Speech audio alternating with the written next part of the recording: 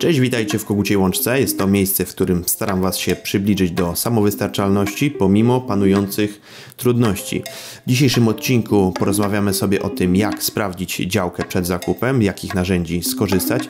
Jeżeli nie widziałeś poprzednich filmów z tej serii, to tutaj e, Wam się wyświetli karta lub na końcu filmu będzie też link do playlisty lub nawet w opisie też to macie. A w poprzednich odcinkach było m.in. na jakie aspekty zwrócić uwagę, na jakie cechy działki przy zakupie i w następnym e, odcinku, w odcinku drugim było powiedziane e, w jakich miejscach szukać swojej działki i gdzie te ogłoszenia swoje ewentualne rozwieszać czy poszukiwać.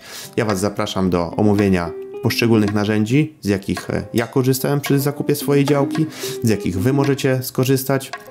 Jeżeli będziecie mieli jakieś pytania czy coś w tym stylu, zapraszam Was do komentowania, zadawania pytań e, pod filmem. Będzie osobny materiał e, QA, w którym postaram się odpowiedzieć na wszystkie nurtujące Was problemy, pomysły czy inne rzeczy. Zapraszam.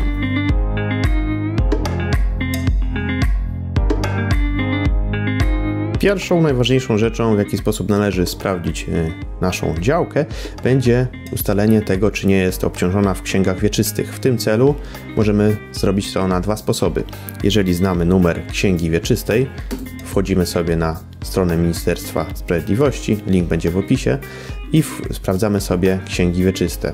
Klikamy przeglądaj księgi wieczystej i tutaj wpisujemy numer tej księgi, który, który mamy księdze będziemy mieli napisane, jakie e, są tam cztery działy, czy jest obciążona hipotecznie, czy ma jakieś e, inne zastrzeżenia i tam będziemy mogli wszystko wyczytać. Ale jeżeli nie znamy numeru księgi wieczystej, to należy wejść sobie na jakąś stronę, na której będzie można zapłacić określoną sumę. Ja korzystałem akuratnie e, z tej strony księgiwieczyste.pl i będziemy mogli sprawdzić sobie działkę. Tutaj będziemy mogli wpisać albo po adresie, albo po numerze księgi wieczystej, albo po numerze działki, którą znajdziemy w geoportalu, o którym powiem za chwilę. Tu jest wszystko wypisane.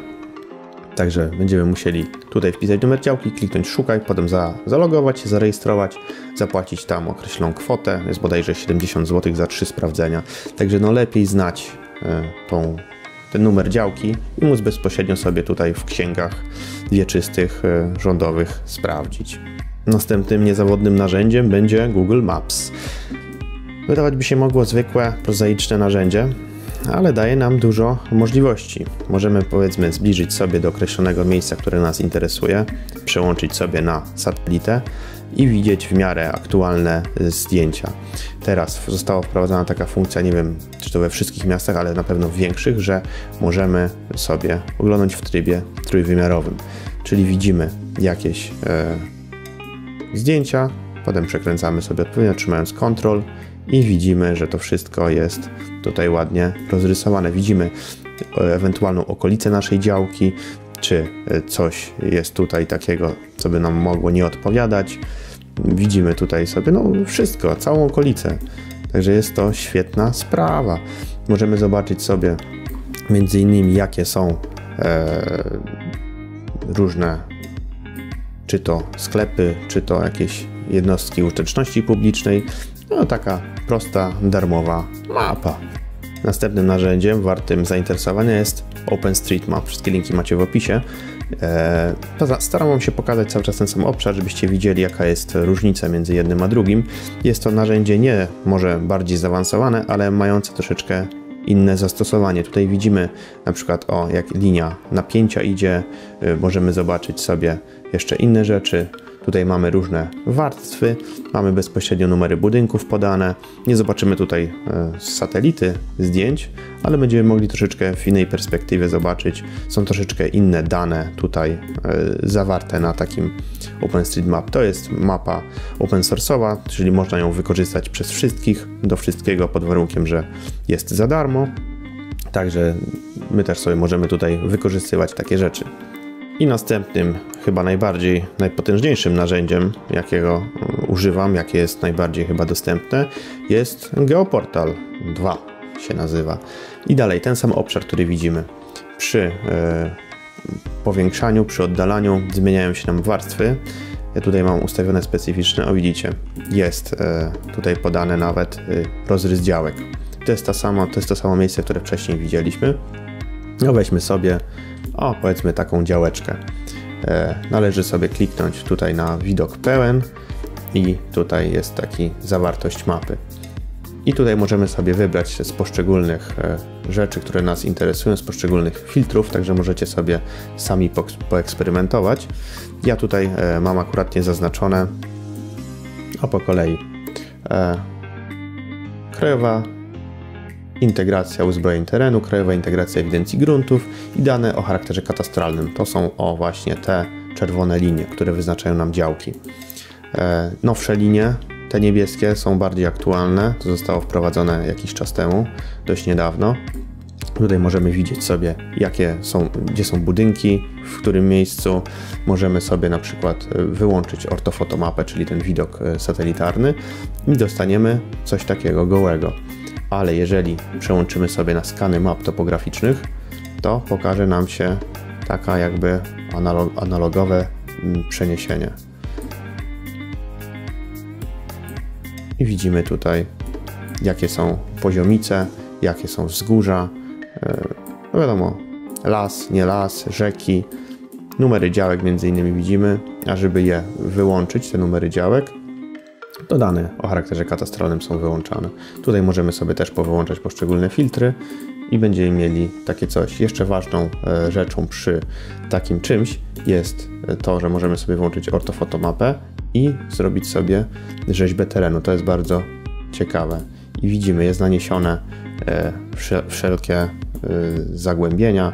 Im ciemniejsze, tym głębiej. Także to możemy też sobie zobaczyć. Wszelkie ukształtowanie terenu. Widzicie, tutaj jest koryto rzeki i widać jak jest zapadnięte. Tu też jest jakaś... Co my tu mamy? Jest droga. To jest kolejowy. O, i widzimy. Weźmy sobie jeszcze raz rzeźbę terenu i widzimy, jakie jest przesunięcie. Tutaj jest naprawdę bardzo dużo przeróżnych rzeczy. Jeszcze jedną ciekawą rzeczą tutaj jest, że możemy mieć informacje bardziej szczegółowe, czyli przybliżamy sobie do danego miejsca. Poczekajmy, aż nam się załaduje ten dany o charakterze A zaznaczyłem dane o charakterze katastralnym. E, weźmy sobie powiedzmy taką działkę i należy na nią e, kliknąć prawym przyciskiem myszy i nam się rozwinie tutaj takie menu. E, możemy sobie dać identyfikacja i klikamy wtedy w daną działkę. I widzimy tutaj jakie, no nie wszystko jest jeszcze uzupełnione, ale jest coraz, coraz to więcej uzupełniane. Możemy sobie zobaczyć, jakie tam są dane. I tutaj są takie, może być najważniejsze, jaka jest powierzchnia tej działki, no i jaki jest też jej tutaj numer. Widzimy miejscowość, wybieramy sobie jaka tu jest, powiat, gmina, województwo, miejscowość i wybieramy sobie ten numer działki. I po tym numerze działki właśnie w tych księgach wieczystych nie tych oczywiście płatnych, możemy sobie znaleźć tą działkę. Następnym bardzo ciekawym, aha, jeszcze tutaj jest napisane jaka jest powierzchnia tego. To jest też bardzo ważne dla nas. Następnym narzędziem, można powiedzieć, jest coś takiego, możemy mierzyć odległość. Zobaczmy sobie, jaka ta działka jest długa. To nie jest działka, którą ja kupiłem, to jest jakaś losowa działka wybrana pod miastem i widzimy, że ma 120 metrów. Dajemy prawym i wyczyść pomiary. Teraz dajemy sobie jaka jest szerokość. 56 metrów. Jest to w miarę 2-3 metry przesunięcia, no ale jak na takie coś to jest jak najbardziej. Dajemy wyczyść i możemy zrobić sobie jeszcze coś jak mierzyć powierzchnię. Możemy sobie ręcznie zmierzyć, powiedzmy, chcemy zobaczyć ile pół tej działki będzie miało e, powierzchni. I już widzimy 33 ary. Całość miała. Ile miała całość? całość miała 66 arów. No, a tam było 33 z połowy. I możemy sobie na różne sposoby tutaj identyfikację, mierzyć powierzchnię, odległość. To są najważniejsze narzędzia, jakie Was interesują. Tutaj możecie sobie po, poeksperymentować e, właśnie z tymi mm, zakładkami. Mm, najbardziej używałem e, ortofotomapę, e, mapę topograficzną, rzeźbę terenu, no i tutaj są jeszcze te trzy zaznaczone nowe. Tutaj nie jest jeszcze tego zaktualizowanych tych rzeczy za wiele, ale z czasem będzie się to pojawiało. To jest tylko na całą Polskę. Tak jak widzicie, po oddaleniu e, się zmienia. O, są różne warstwy, możecie się między nimi przełączyć. Te skany e, topograficzne są według mnie najciekawsze, bo pokazują, one są dość stare, ale dzięki temu pokazują rzeczy, które, które już na przykład mogą nie istnieć albo y, są już niepokazywane. Tak jak tutaj y, widzimy tą linię wysokiego napięcia. I następnie równie przydatnym narzędziem będzie y, profil jednego z użytkowników na portalu GeoContext, w którym możemy zobaczyć jaka jest wysokość między jednym a drugim punktem. Tutaj jest standardowo dodany jakiś tam punkt bodajże w Stanach Zjednoczonych, gdzie e, widzimy od jednego punktu do drugiego jest coś takiego zaznaczone i tutaj mamy przekrój, tak jakbyśmy z boku widzieli. Czyli idąc od punktu A mamy taką wysokość, jak jest to tutaj zaznaczona. Idziemy sobie w bok i widzimy na tym miejscu pojawia się e, zaczyna się pojawiać wzniesienie, rośnie, rośnie, rośnie, rośnie. Tu taki jest troszeczkę płaskowyż. U góry popatrzcie sobie, jak to się przemieszcza. I tutaj nagle gwałtownie zaczyna opadać w dół. I tak samo możemy sobie to zrobić u siebie. E, wpiszemy, wpiszemy resetuj, wpiszemy Rzeszów. Jeszcze raz resetuj, bo tam się złapało. Na scrollu nie działa, trzeba to ręcznie i weźmy sobie powiedzmy od jednego punktu do drugiego. E, odtąd powiedzmy dotąd. I widzimy jak w zależności od odległości, w którym miejscu są jakie wzniesienia na dystansie 3,6 km, czyli cały ten obszar, który zaznaczyłem, jest od 270 metrów, najniższego punktu jest 230, o w tym miejscu, akuratnie przy tej drodze. No ale zróbmy sobie coś jeszcze z bliższa. Zbliżmy sobie to E, resetuj, o i weźmy coś takiego, jeszcze raz zbliżmy. Weźmy powiedzmy odtąd, o do tej drogi. I widzimy, jak to się wszystko układa, całe ukształtowanie terenu. Tutaj jest jakaś droga, jest duża niecka w dół. Droga, nie droga, ciężko powiedzieć, co to jest takie podłużne pole. Tu jest z kolei znów do góry i tu w dół. No to zróbmy sobie jeszcze większe przybliżenie. Weźmy sobie jakieś konkretne pole. A weźmy sobie... O, to pole. Wygląda ciekawie. Weźmy stąd dotąd.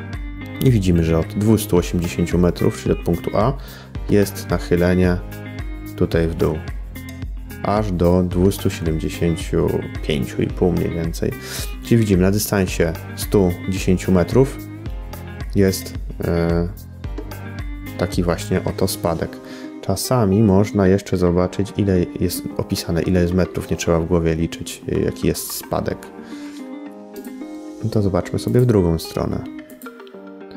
I teraz widzimy też na dystansie 130 metrów z od punktu A spadek w tę stronę, czyli wiemy, że spadek góry będzie w tę stronę. I tak sobie możemy mierzyć różne ukształtowania terenu.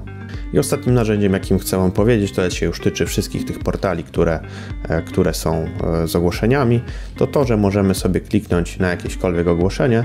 Tutaj się wyświetla e, numer kontaktowy do danego sprzedawcy, danego pośrednika, ale po zalogowaniu się, po zalogowaniu się do tutaj do odpowiedniego portalu, możemy sobie kliknąć E, by powiadomienia nam przychodziły na naszą skrzynkę mailową, o tym też już Wam wcześniej mówiłem. Także zaznaczcie to sobie, to będzie Wam wszystko fajnie przychodziło tam po dniu, e, nie dłużej niż tam po dwóch. Takie będą raporty, gdzie została dodana nowa działka, także będziecie mieli wszystkie dane na bieżąco i będziecie wiedzieli, co w trawie piszczy. Ja się z Wami żegnam, to był e, materiał na temat narzędzi, jakie warto wykorzystać. Zostawcie w komentarzach Wasze pytania, jakieś nieścisłości może się wkradły w moje wypowiedzi, także napiszcie to wszystko. Odpowiedzi będą w ostatnim materiale, w ostatnim Q&A, który uzbieram ze wszystkich tych pytań. Jeżeli jakiekolwiek pytania będą, może wszystko było ostatecznie tak bardzo jasne, że nie macie żadnych. Ja Was zapraszam do subskrypcji, polubień, zostawcie łapkę w górę, udostępnijcie na swoim Facebooku, na swojej tablicy to wszystko. Się z Wami żegnam, no i cześć!